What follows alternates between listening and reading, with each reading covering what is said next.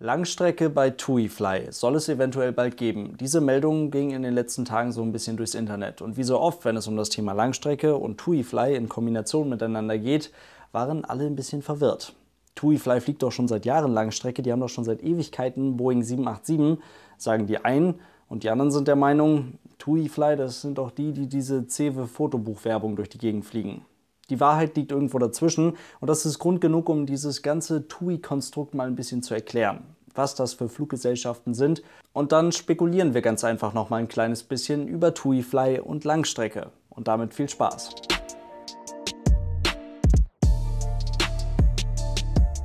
Und damit hallo und ganz herzlich willkommen zu einem neuen Video. Ich hoffe, es geht euch gut. Also, gerade vor ein paar Tagen hat ein weiteres großes Konstrukt aus Reiseveranstalter bzw. Reisekonzern und seinen Fluggesellschaften für wahnsinnig viel Aufmerksamkeit gesorgt. Das war natürlich Thomas Cook, nach TUI der zweitgrößte seiner Art und damit selbstverständlich eine durchaus nicht zu unterschätzende Nummer am Markt.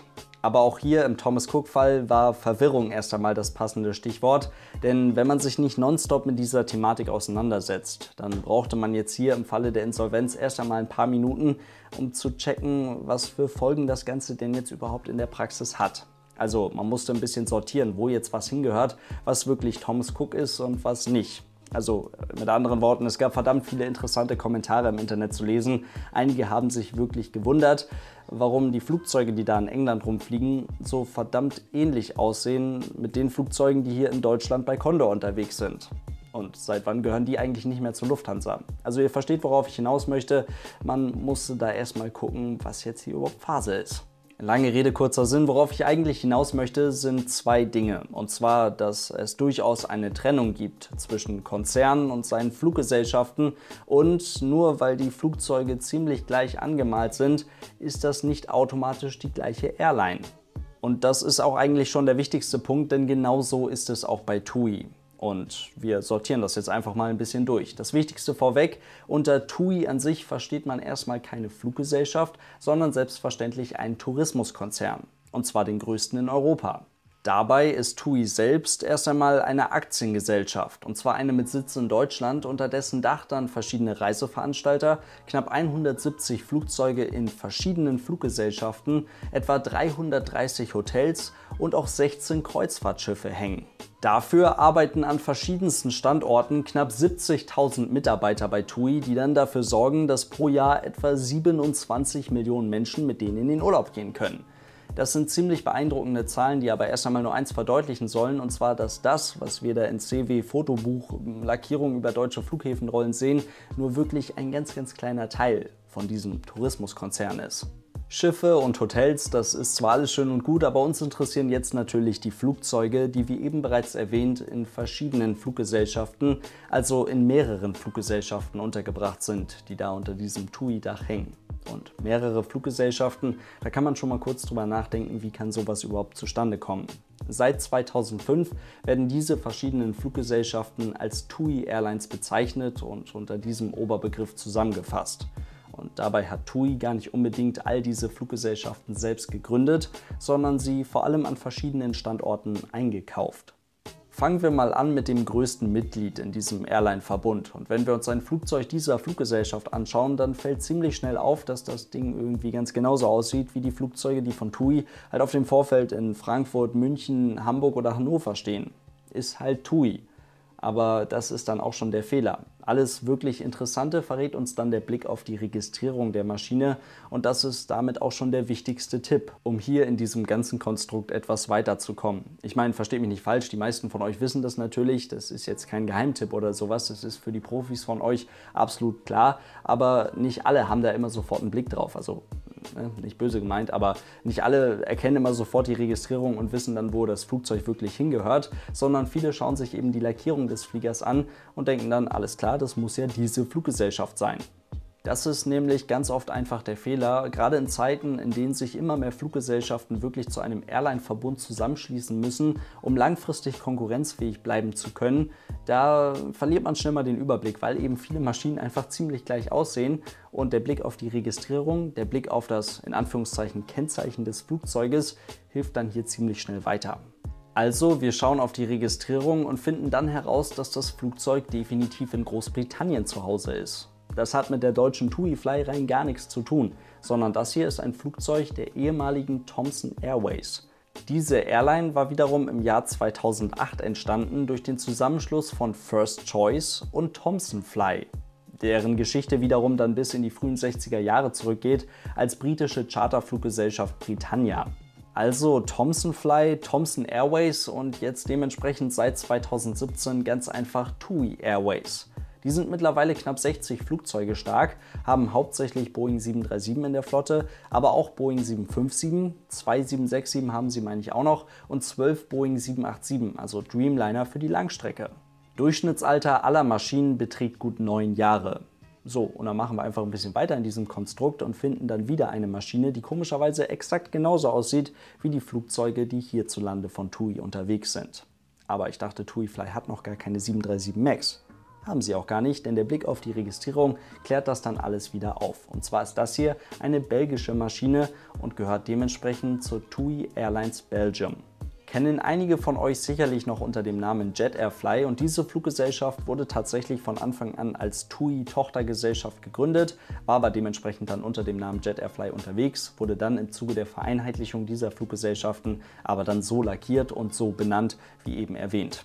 Mittlerweile ist die Fluggesellschaft 40 Flugzeuge stark, hat auch hier hauptsächlich Boeing 737 in der Flotte, unter anderem wie gesagt auch die MAX, die zum aktuellen Zeitpunkt natürlich am Boden steht, aber eben auch zwei Boeing 787, zwei Dreamliner für die Langstrecke.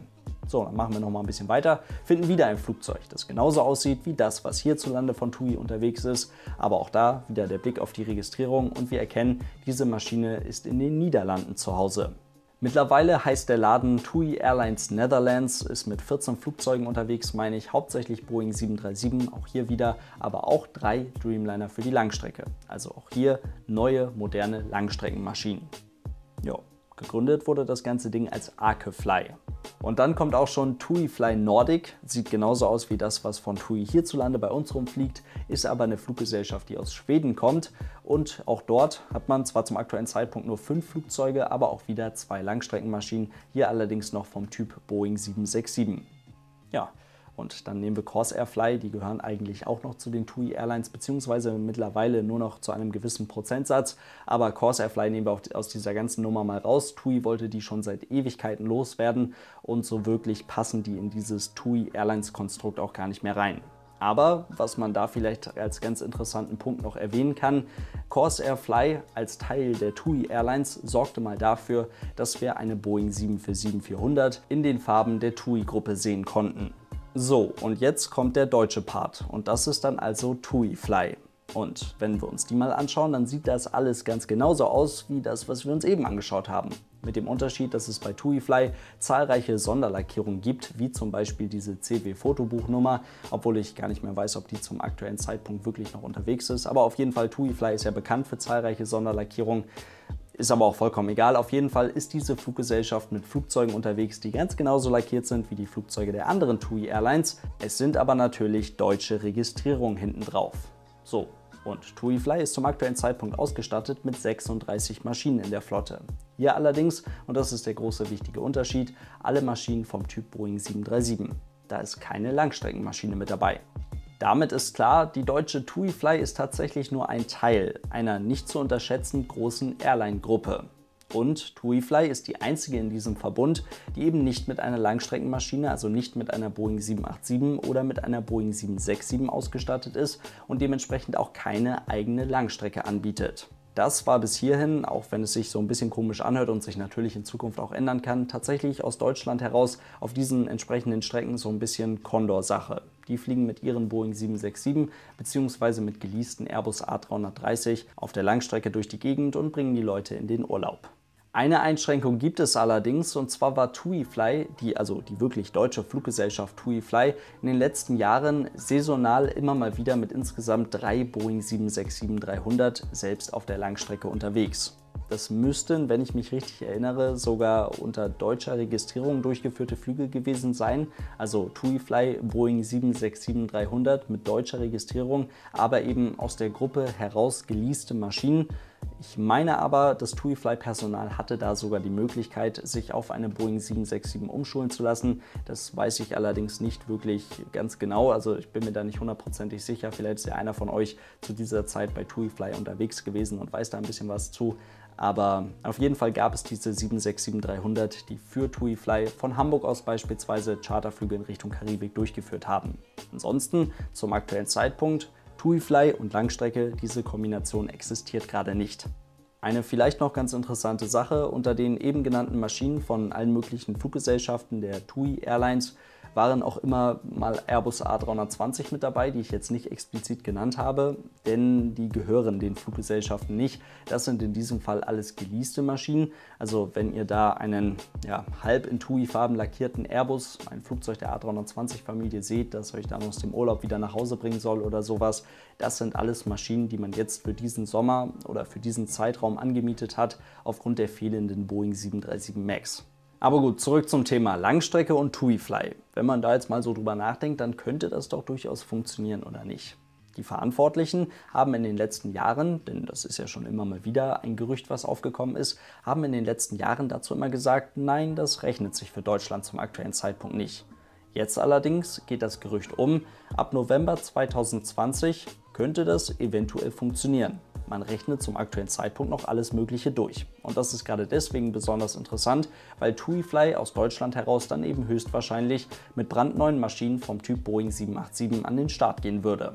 Und ich weiß, das ist für einige von euch sicherlich ein nicht zu unterschätzendes Argument. Ob das Ganze oder ob dieser Sinneswandel oder ob diese Idee oder was auch immer, ob das irgendwas mit der Thomas Cook Insolvenz und der damit zum aktuellen Zeitpunkt mehr oder weniger und wirklich in Anführungszeichen betrachtet freistehenden Condor zu tun hat, das wissen wir zum aktuellen Zeitpunkt leider nicht. Aber auch das gehört zu diesen Gerüchten mit dazu. Eventuell könnten Condor und TuiFly doch etwas zusammen starten, ihre Stärken miteinander kombinieren und dann eben als große gemeinsame Ferienfluggesellschaft an den Start gehen. Wie gesagt, wir wissen das natürlich nicht und ich denke auch mal, dass es da einiges mehr an Punkten zu beachten gibt, als wir das jetzt auf den ersten Blick erkennen könnten und dass es da einige Hindernisse gibt, die wir jetzt erst einmal nicht so sehen. Aber nichtsdestotrotz möchte ich den Gedanken mal so im Raum stehen lassen, dass es diese Kombination eventuell ja geben könnte. Gut. Ansonsten muss man ganz klar sagen, TuiFly und Langstrecke, das klingt verdammt interessant und ich bin da sehr gespannt, was da in Zukunft noch kommen könnte wir beobachten das natürlich weiter. In diesem Sinne soll es das heute gewesen sein. Vielen lieben Dank fürs Zuschauen. Ein riesengroßes Dankeschön geht heute noch raus an Jonathan und an denjenigen mit dem wunderhübschen Namen Captain Montana. Vielen lieben Dank an euch beide für eine tatkräftige und großzügige Unterstützung über meine Patreon-Seite. Damit helft ihr mir und dem Kanal sehr. Ihr wisst, wie es läuft. Vielen lieben Dank dafür.